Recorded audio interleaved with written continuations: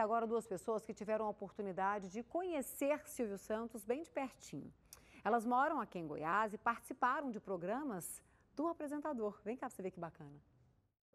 E nós vamos conhecer pessoas hoje que participaram dos programas, dos quadros, na verdade, que Silvio Santos comandava com maestria. Um deles é o senhor aqui, Giovanni, João Giovanni, né, que teve uma oportunidade de participar duas vezes de um quadro, A Porta da Esperança. O programa de maior audiência aos domingos é Porta da Esperança. E aí o legal de toda essa história, gente, são 72 anos de história do seu João Giovanni e que os filhos também, né, são quatro filhos, mais esses dois aqui que tem a memória aqui mais assim recente, podemos dizer assim, né, uma memória referente ao que aconteceu naquela época. E a gente vai conversar a partir de agora então com o senhor João Giovanni e também os filhos para entender como é que foi tudo isso na época. Foi uma coisa assim muito emocionante, foi uma coisa inédita, porque eu acho que eu sou o único aqui de Goiás que tive essa oportunidade, tive essa iniciativa, né? Porque eu conheci o pessoal da, da, da televisão aqui de Goiânia e através deles, bom, inicialmente eu vi o pessoal lá pedindo uh, algumas coisas que a gente tinha na loja, que, a qual eu era gerente. Aí eu entrei em contato com o pessoal, eles me passaram o contato da produtora do programa, lá do Silvio Santos, e eu, eu é, entrei em contato com ela, ela falou, não, esse negócio que estão pedindo já foi dado, que estão pedindo já foi dado. Mas o que, que é que você tem? Aí eu falei mais ou menos o que, é que a gente tinha. Ela falou, não, então, assim que tiver o pessoal pedindo alguma coisa, eu vou entrar em contato com você.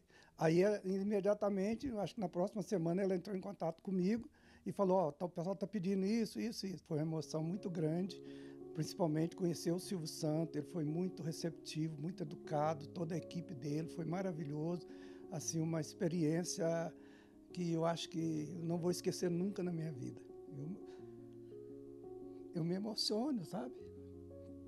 Eu me emociono muito, porque eu ajudei as pessoas, sabe? As pessoas que, pessoas carentes, que estavam precisando das coisas, né?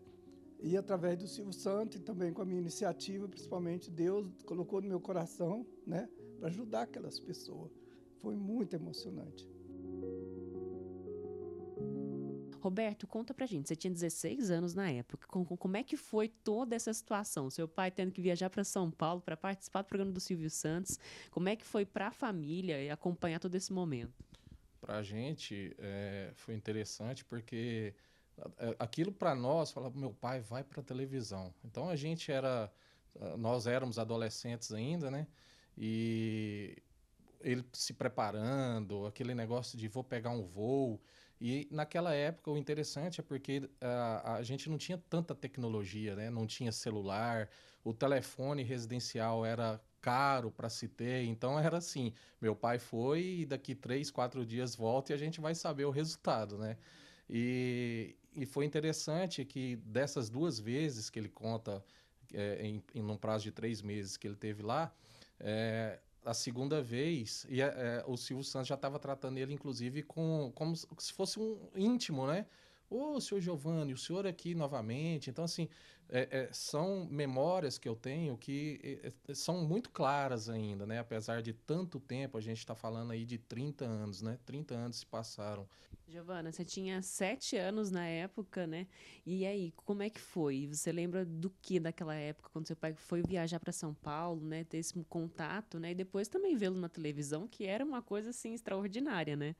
Claro, é, naquela época já era rotina, domingo, Silvio Santos. É, Silvio Santos é, para mim, assim, minha infância, igual eu falo sempre, desde sempre eu sempre gostava, domingo era Silvio Santos. Então, ver meu pai lá, mesmo que eu tinha sete anos, eu lembro como se fosse ontem. Eu lembro que foi uma euforia, uma alegria. Nossa, meu pai lá ainda ajudando as pessoas. Então, desde cedo, assim, eu já aprendi, né, com meu pai, que a gente tem sim, se a gente pode, a gente tem que ajudar as pessoas. E ainda mais lá no Silvio Santos. É, a recordação é muito boa.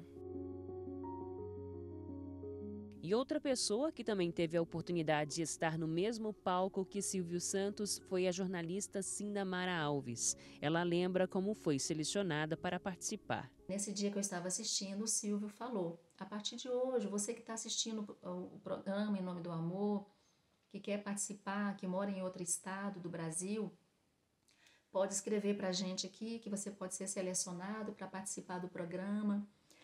E eu fiquei achando interessante, porque eu gostava de uma pessoa na cidade. Eu escrevi uma carta. Eu não tinha nem ideia que eu seria sorteada. E depois de 12, 15 dias, eu recebi um, um telegrama dizendo que eu tinha sido selecionada para estar tá no, no programa do Silvio. Ela foi a primeira participante a gravar o programa com o Silvio. Eu fui escolhida para ser a primeira para gravar em nível de Brasil e aquilo para mim ficou marcado.